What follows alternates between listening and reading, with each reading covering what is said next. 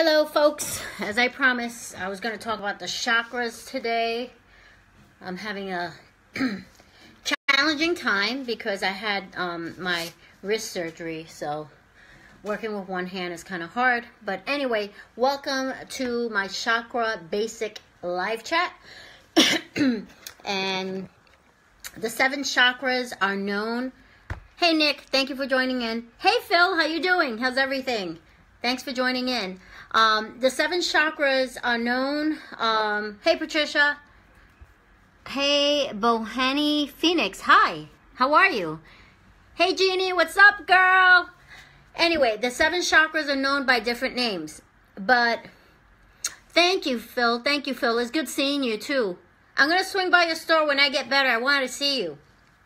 Um, anyway, um, the seven chakras are known by different names, but essentially they are the wheels of energy in our body, in our system, and they're located in uh, strategic areas of the body, starting from here all the way down, and um, allowing the organs to work correctly for the body to heal when it needs to. And there are seven chakras, and I'm going to talk about them in their meanings, but I wanted to show you guys this. I don't know if you can see it. Okay? It's the endocrine system and the chakra system. Now, as you know, the endocrine system is in the physical body, and the chakra system is the spiritual body. Now, oh, thank you. Thank you so much. Thank you so much. I appreciate that. I'm glad you like the way I sing. Before I got into this field, I actually uh, was a professional singer. Thank you so much. I appreciate that. Anyway, like I was saying, the endocrine system is the physical body. The chakra system is the spiritual body. And when you look at these two systems together, they they correlate. This is the physical and this is the spiritual. And when there is a physical um, issue, challenge in the body, you're going to feel it in the chakra system. And if there's something off in the chakra system, it's going to be felt in the physical body because they correlate together if you see this. And this is a cute little, um, this is a cute little chart my best friend made for me. She's always helping me out with stuff. Um, so there you go. Okay physical endocrine system, spiritual chakra system. Now, I work with both of these. I work with the physical and the spiritual. So, I wanted to talk a little bit about the chakra system, which is more spiritual, um, because I'm always talking about um, the physical body. So, I want to get into this because this is something that I worked on myself during my healing journey. Okay, so I want to share this with you guys. So, the first chakra, okay, is the root chakra, which is located down here, if you can see, right? And is known for survival and security. And it governs um, areas such as the kidneys and um, intestines, sexual organs, and it is represented by the color red right here, okay? And it's also associated with earth and it's associated with our foundation and feeling of being grounded. Excuse me. And it connects us to family, our tribe, and our belief systems, their belief systems, and our identification with the physical world, calm and stillness, direct connection to earth because it is associated with um, earth. Um, and our survival ability to find food, shelter, and money. Okay, this is what the um, root chakra um, is all about. And that is the first chakra, is the root chakra. And like I said, is located way down here, you see? and that is associated, the root chakra, in the male with uh, the testes and women ovaries. Okay? Now, any imbalances of energy. Hey, Carmela. Hey, Nikki. Hey, Lucy LeBoy. Hey, Michael. Thank you for joining in. Michelle. What's up, Michelle? Thank you for joining in, sweetie. Nice to see you on here. Um, so, any imbalances to the energy of the root chakra can set a stage for illness, physical, emotional, and spiritual. And I work with all. I work with the spiritual, emotional, and physical body um, during my healing journey. And I'm sure all of you know already my healing journey, my story. I, I suffered with lupus for many, many years, and I was able to heal my body in two years with holistic therapies, nutrition, and all these other things. Um, you can uh, hear my story on YouTube or on my website. I want to get to this information. I don't want to keep everybody on for too long. Um, plus, my arms it hurts my wrist so i want to get this done really quick. So i'm going to explain this to you. So like i was saying any imbalances to the energy of the root chakra can set a stage for illness physical emotional and spiritual. And as you know we're not just physical beings we're also emotional and spiritual beings okay? That's something we got to remember because we live in this physical world and we forget that we're also um, spiritual beings living in a physical world. Okay so the health and emotional dysfunction associated with the first chakras imbalances are immune related disorders, such as lupus. Remember, I mentioned that. Kidney disease. Hey, Victoria, thank you for joining in. Um, cancer, rectal disorders and tumors, anorexia, obesity. Okay, I'll do that. I'll, I'll work on that and then I'll do that for you. Um, hey, C- Cindy, thank you for joining in. Um, Issues of survival, such as money, shelter, food, financial independence, allergies, depression, chronic lower back pain, um, stress, anxiousness, restlessness, joint pain, like in autoimmune diseases, sexual difficulty, infertility. Hey, Lewis, thank you for joining in. Um, elimination problems such as constipation, um, autoimmune diseases, Okay, when the body attacks itself, such as in an autoimmune disease like lupus, there are root chakra imbalances. The body gets a destructive message from deep within. Okay, I'm talking now on a spiritual, emotional level. Hey, Victoria, thank you for joining in. Nice to see you here. God bless. Um, such as um, it get a, a message from deep within itself mental depression has been associated not only with self destructive behaviors, but with depression. Hey, Missy, thank you for joining in. Um, but with depression and the immune system um, functioning, many women with autoimmune diseases also suffer from depression. Um, I don't know if you are so uh, familiar with Dr. uh, Christine Northrup. Um, she stated that begin any necessary healing of this chakra um, experiencing any painful memories of childhood or survival issues, releasing them and forgiving. So if you're having issues um, with your root chakra or anything that deals within that area on emotional and spiritual level, this is what you have to work on the root chakra. And I'm talking about autoimmune diseases is, is a big one, and the other ones that I mentioned before. Okay, so the next chakra, the second chakra, which is a sacral chakra, is known as the second chakra and is represented by the color orange. And I'm going to show that to you on here. See, right, where is it? Right here. Okay, that's the color orange right there. Um, and that is known as the navel chakra. Okay, and I'm going to talk about that. Now, the color is orange and it relates to our need for relationships, partnerships, um, and community bound bonding and immediate family, personal ethics, and morals. It is associated with the elements of water and is located just below the navel stretching. Oh, okay, Sandra. Well, we'll we'll walk. You and I will work on that, Sandra, when we start working together. Okay. I'm planning to do chakra work with you because I know you need it. Um, also, it is associated with the element of water, and like I said, is located um, below the navel and by the lower abdomen and right below the rich rib cage. So it is our ability to accept others and new experiences Hola, prima, ¿cómo estás, Grisel? Um, relates to our need for relationships, community bonding, strength to recover from loss of finances, family and partner, creativity, bringing projects, um, developing individuality. Okay, that's uh, the second chakra.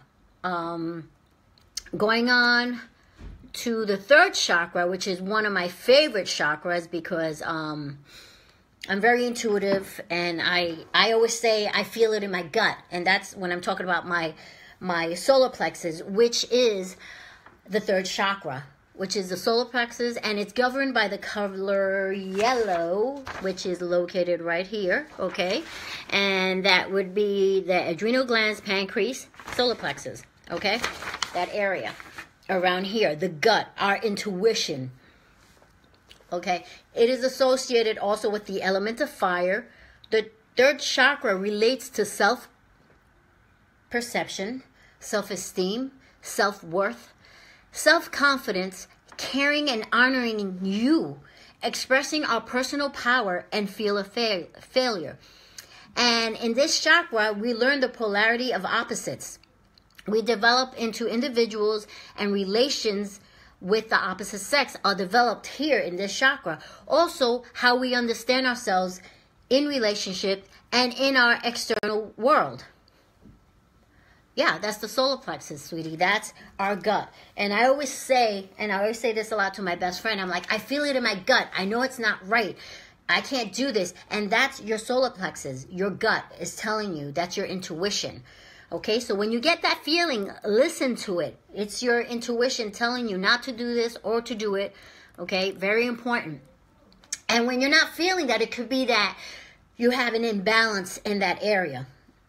So the next one is the heart chakra, which is up here. And the color of it is green. Right, where is it? I can't see. Right there. Okay. And the fourth chakra is all about the heart, which is also known as anahata, and it's symbolized by the color green and the air element. And it is tied to the ability to be compassionate, of course, because the heart, loving and forgiving, belief in the divine emotional expression. Okay, and this is what it's associated with. I, when um, I was sick with lupus, it's funny because I always said I had heart issues, that I had a broken heart, and um, things from my past. And that I carried that with me. And of course, I let that go once I did the spiritual emotional healing and I worked with the chakras. But it just so happens that of all places that the lupus attacked, it was the heart of all places. Since then, I've corrected this um, imbalance. I no longer have any issues. I actually corrected and reversed my heart issue as well as um, my issue with lupus. I'm doing great. I have no symptoms.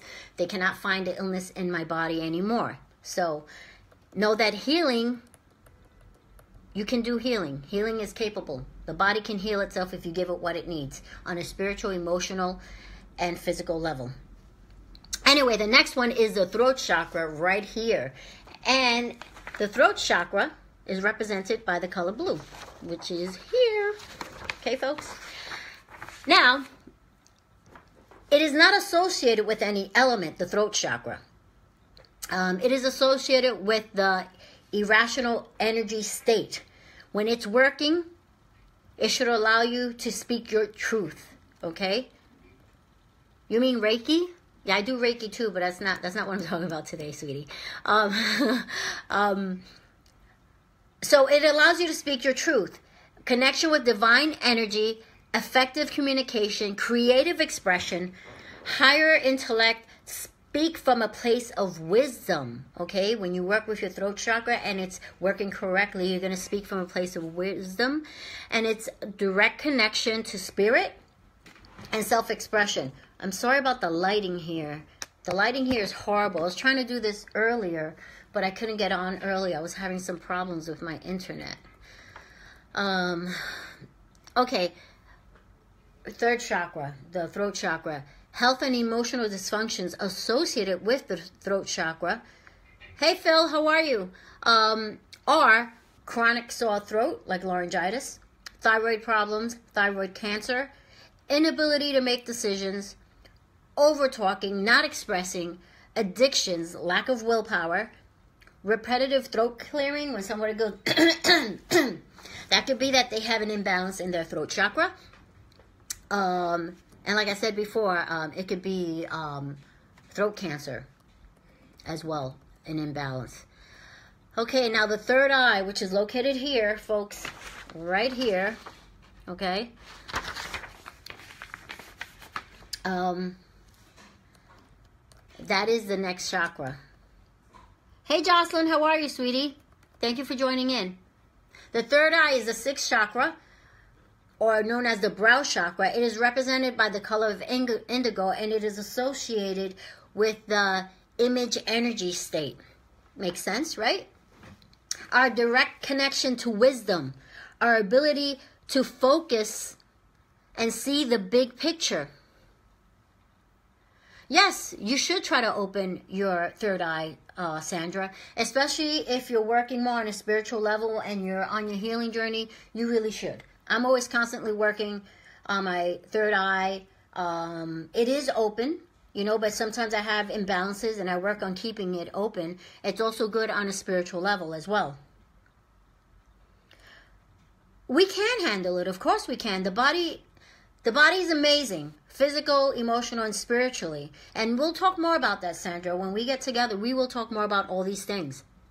Okay, so the third chakra, like I was saying, it's our direct connection to wisdom, our ability to focus and see the big picture, intuition, um, imagination, alertness, balance of brain activity, charisma, um, visualization, and focus and health and emotional dysfunctions associated with the brow chakra or the third eye is erratic OCD behavior, second guessing the inner self, fear of outcome, inability to act or tap into our divine guidance, overthinking or block thinking. These are all associated with an imbalance of our third eye.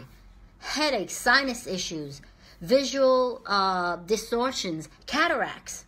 Okay, these are just a few that I'm naming. There's other stuff. I just want to name a few things. Now, the last chakra, which is the seventh chakra, which is located up here, up here, right? And that is associated with the color violet or white or silver and is Thanks for joining in, Lawrence. And it is connected to our spirituality and directly aligned to divinity, universal energy. Um, spirituality comes into the human body and mind through the crown chakra. It is responsible for our direct connection to God, to divinity, inner guidance, sense of purpose, blissfulness, um, highest state of consciousness, living in the present moment, physically and spiritually, living in the present moment, okay, on a physical and spiritual level. Um, our faith, um, being filled with grace, letting go of illusions, peace and healing, harmony and willpower, and the health and emotional dysfunctions associated with the crown chakra, if you have an imbalance, would be migraines. Um, uh, when you get migraine headaches, um, loss of self, loss of identity, um, issues with your nervous system, muscular disorders like um, MS. You have these um, uh, nervous system disorder, muscular disorder, spiritual abandonment. okay, Sandra, you're funny. You're a trip. Um, brain tumors, skin disorders, mental issues, fear of success, and you know people who are religiously fanatic they got something going on with the crown chakra uh, uh, a dysfunction there so there you go folks this is a brief overview of the chakras. I'm in the process of creating a chakra program, and I will post that on social media and on my website for those of you who are interested in finding out more about the chakras and that program and being a part of it. So, if you like this video, please, by all means, share it with others. Maybe they'll get something out of it. Maybe they'll learn something new. Um, you can follow me on Facebook on my business page, which is Yvette LaBoy Coach. On Instagram, I'm One Holistic Diva. On Twitter, I'm Holistic Gal. And on YouTube, um, my YouTube page is Yvette LaBoy. So go on there. You'll get some really great um, videos on health and wellness, on autoimmune disease, lupus, um, recipes. I have some um, cooking videos there as well. Um, also, I'm releasing my ebook, which is Healthy Holiday Recipes. I'll be releasing that next week. It'll be on my website. I will post it on social media, the link.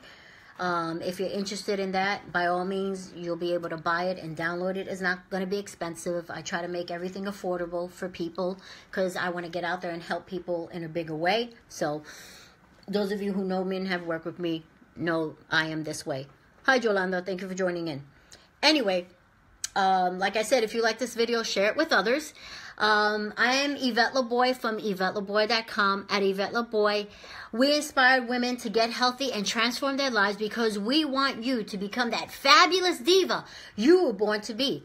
I'll see you at my live next live chat, which might be tomorrow. I'm doing a live chat on lupus. Um, and I'll be doing that tomorrow. And I'm also going to be doing a live chat on the gut as well because this is stuff that people did ask me to do and someone just requested that I um, do a live chat on on diabetes so I'm gonna do some research on that to make sure I give you guys the right information um, because I like giving the right information to all of you. But anyway, thank you for joining in tonight. Mwah. Love you all. Take care. Good night. And I'll see you soon. Bye.